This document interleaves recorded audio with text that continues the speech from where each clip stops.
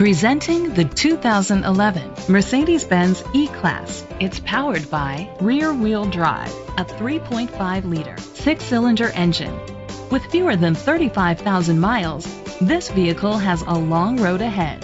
The features include a power sunroof, an alarm system, rain sensing wipers, independent suspension, brake assist, traction control, stability control, daytime running lights, anti-lock brakes.